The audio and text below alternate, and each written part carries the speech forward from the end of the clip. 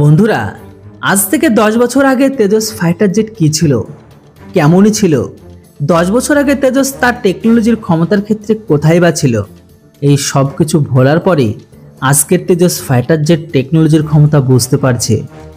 আসলে বলা হচ্ছে যে তেজসকে বানানো company Hindustan aeronautic limited Tejas fighter জেটে এমন একটি টেকনোলজির সাথে যুক্ত করেছে, যেটিকে দেখবার পরে আজ চীনও অবাক। যেখানে রুশো আজ এমন উপকরণের ডিমান্ড করেছে, যেমনটা ভারতের তেজস ফাইটার জেট পাকিস্তান থেকে শুরু করে চীনের সাথে লাগোয়া সীমানাতে ইন্টারসেপ্টরের ভূমিকায় ডিপ্লয় হবে।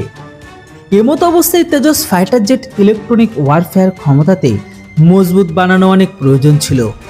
আর এটির অনুসারে স্বদেশি Tejas fighter জেটকে Hindustan aeronautics limited next generation radar warning receiver দিয়ে যুক্ত করেছে। বলে দিই আপনাদের যে সমস্ত fighter jet radar warning receiver তো থাকেই।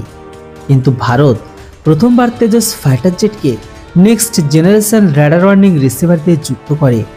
আর ঠিক এই রকম র্যাডার ওয়ার্নিং রিসিভার ফ্রান্সের রাফেল, আমেরিকার অত্যাধুনিক ফাইটার জেট ছাড়াও রাশিয়ার সুখই সেভেন্টি ফাইভ ফাইটার জেটে লাগানো আছে।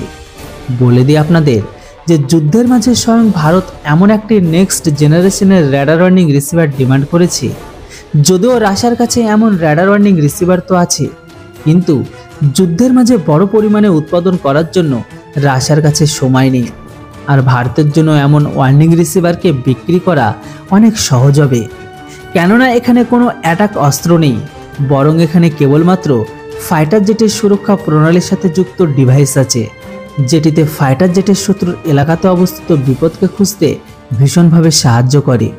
বলে দিই আপনাদের যে এইচএল জানিয়েছে যে তেজস ফাইটার জেটে স্বদেশি অস্ত্র এমকিওয়ান মিসাইল সেলফ প্রোটেকশন জামা ছাড়াও নেক্সট জেনারেশনের র্যাডার ওয়ার্নিং সিস্টেমকেও ফিট করার উপর কাজ পুরো হয়ে গেছে। আর খুব তাড়াতাড়ি বড় পরিমাণে ভারতের তেজসে ইন্টারসেপ্টার ভূমিকাতে সীমাতে ডিপ্লয় হবে, যেটি ভারতের জন্য অনেক বড় কিন্তু একটি গর্বের বিষয়।